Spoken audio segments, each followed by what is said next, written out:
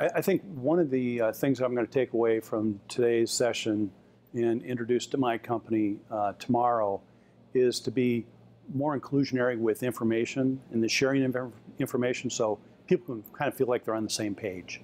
And um, sometimes I think we share information on the management level and don't share it with our teams. And I think if we did that, uh, our teams would be more effective.